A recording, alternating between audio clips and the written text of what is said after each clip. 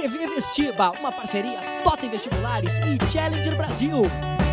TV Vestiba, então, diretamente aqui do lounge do Totem, junto com o Challenger Brasil. Vou entrevistar agora o professor Lucas, professor de literatura. E aí, professor, seguinte, tem entrevistado a galera aí, eles têm falado que a prova de literatura foi muito difícil hoje. Ah, O que, que eles te falaram aí? Uma prova muito parecida, semelhante à prova do Enem. Então ela contemplou basicamente periodização, século XIX, envolvendo todas as escolas de literatura, enfatizando principalmente o período do romantismo e do parnasianismo. Certo?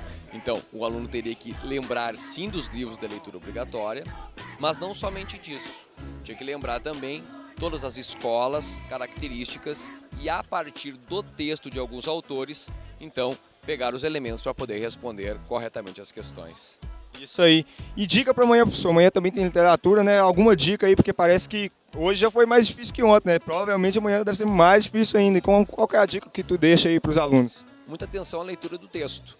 Então, independente do autor que vai aparecer, da escola literária a qual ele pertence, pensar muito no texto, eh, interpretar esse texto da forma correta, aí sim, lembrar das características e aí com relação, fazendo essa mistura das características do autor e que o texto está oferecendo, poder chegar às alternativas corretas. Mas eu gostaria de dar uma ênfase aqui, né, de toda a literatura do século XX, começando desde o pré-modernismo, lembrar do regionalismo, quem são os autores que começam a fazer literatura nessa época, modernismo primeira fase, segunda fase, terceira fase, até chegar à literatura contemporânea.